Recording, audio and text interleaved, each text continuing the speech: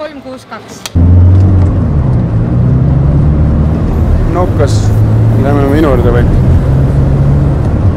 mis me seal teeksime? tähendab, ma ei tea, mis sa teha seal tahad.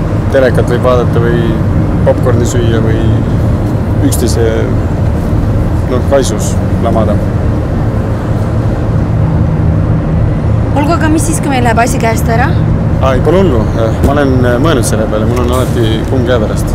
sest ma olin sinust ja minust. ma ei teadnudki, et tänapäeva mehed nii head on.